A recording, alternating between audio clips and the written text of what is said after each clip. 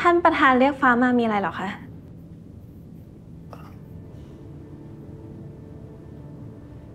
ใครครับคุณฟ้า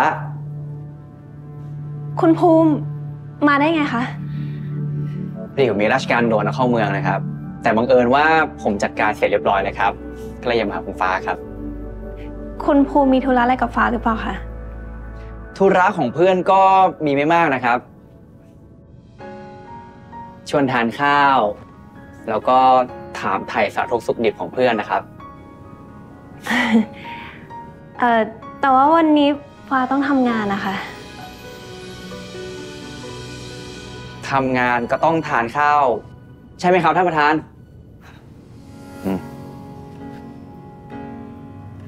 คุณไปทานข้าวกับคุณภูมิเถอะผมอนุญาตให้เข้าช้าได้ช่วงบ่าย เออหรือว่าจะไม่เข้ามาเลยก็ได้นะ ไม่ได้ค่ะ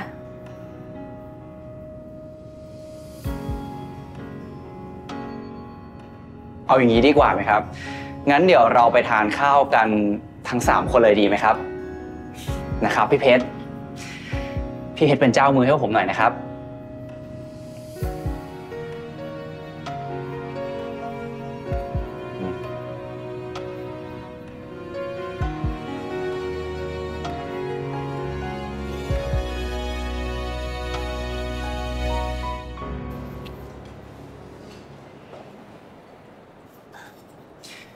น่าเสียดายนะครับ วันหยุดนี้ผมไม่ได้หยุดเลยอะเลยอดพาคุณฟ้าไปเที่ยวเลยครับ ดีแล้วค่ะ วันหยุดนี้ฟ้าก็มีงานค้างต้องจัดการอีกเยอะเลยค่ะ แสดงว่าท่านประธานใช้งานหนักเหรอครับเอ่อไม่ใช่ค่ะคือท่านประธานให้ฟ้าช่วยดูเรื่องงานแต่งงานคุณภูทะเนศนะคะฟ้าก็เลยมีเรื่องต้องจัดการนิดหน่อย เออใช่ ผมลืมบอกคุณไปว่า ผมนัดทั้งสองคนให้คุณได้แล้ววันเสาร์นี้ ถ้าคุณว่างก็จะได้คอนเฟิร์มให้เลย เอ๊ะ แต่เมื่อกี้คุณภูมิบอกว่าวันเสาร์นี้คุณภูมิไม่ว่างเหรอ น่าเสียดายนะ ถ้าอยู่จะได้ช่วยกัน พี่เพชรได้คุยที่ไหนแล้วครับ ที่วัง คุณชายอัศิระพาสาวเข้าวัง เรื่องนี้ไม่เคยเกิดขึ้นเลยนะครับไร้สาระ ผมเลยไม่ได้ไปเยี่ยมคุณทวดอาทิตย์นี้เลยครับ ต้องฝากพี่เพชรด้วยนะครับ ได้สิ ปกติพี่ก็ไปเยี่ยมคุณทวดทุกวันอยู่แล้ว ผมอยากให้เรื่องนี้จบไปไวครับอืมคุณทวดจะได้สดชื่นขึ้น มันต้องจบเร็วๆนี้แหละ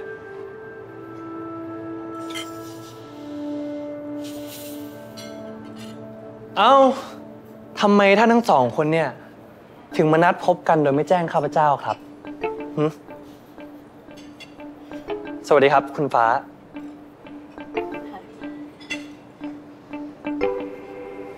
กินกันอิ่มแล้วใช่ไหมครับ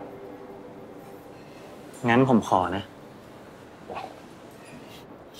คุณฟ้าครับ รับขนมหรือว่ากาแฟเพิ่มไหมครับ ไม่เป็นไรค่ะ ฟ้าขอบคุณสำหรับอาหารกลางวันนะคะ แต่ฟ้าขอตัวไปทำงานต่อดีกว่าค่ะ คุณคุณจะได้คุยกันสะดวก เป็นที่ผมไปส่งครับ เฮ้ย หยุดคุณภูมินั่งลง นานๆเจอกันที ผมกับคุณมีเรื่องต้องเคลียร์กัน ท่านประธาน จะกลับไปทำงานต่อเลยไหมครับ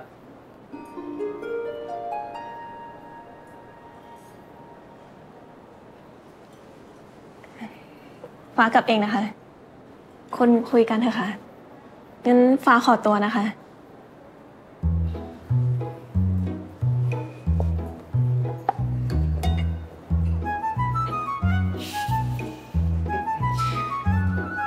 คุณวิทย์ครับ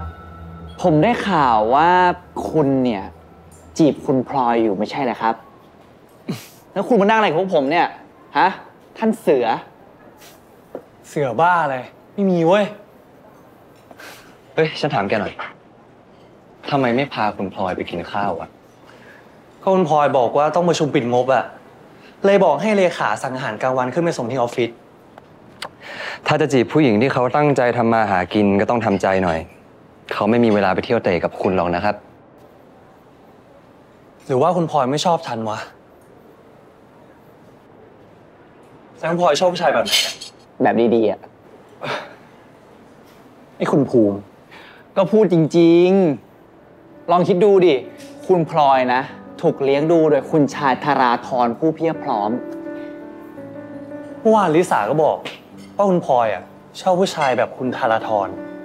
อืมฮ่าแล้วฉันต้องทำไงดีวะ หรือว่าฉันต้องย้ายสาขาไปเป็นนักโบราณคดี โอ้ยไม่ต้อง เขาหมายถึงคุณพลอยน่าจะชอบผู้ชายที่ดูมีความเป็นผู้ใหญ่ ดูสุขุมแล้วก็ ดูคลาสสิกมากกว่านี้หน่อย ผมว่าพีวิทย์ต้องแปลงร่างแล้วแหละ